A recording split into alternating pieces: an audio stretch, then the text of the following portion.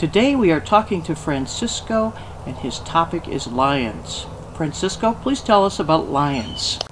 Lion, lions are mammals like us. That means they don't lay eggs. What is a baby lion called? A cub? Can a lion have more than one cub? Yes, but only one of them will survive. Really? Why is that? I have no idea. What do lions eat? Oh, they eat things like snakes, buffaloes, things like that. Wow, how do they get them? By pouncing. Pouncing. And how does one pounce? I'll just show you. Hunt in the grass like this. Okay. Oh, there's something that looks like a one of them. Then they go like. What do mammals feed their babies? Their mother's milk. And what color is a lion?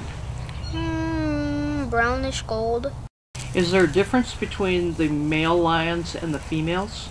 Yes, the male lions have um manes, but not all male lions. There's this type of lion that doesn't grow a mane. I forgot what the name was, but I know there's one that doesn't have a mane.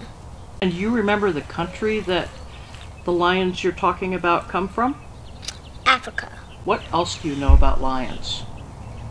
Um,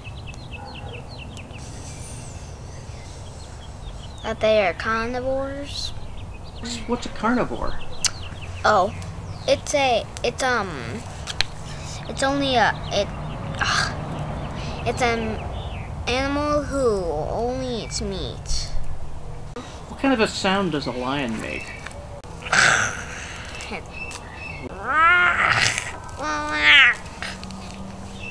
We move because there's lots of bugs around here. Really?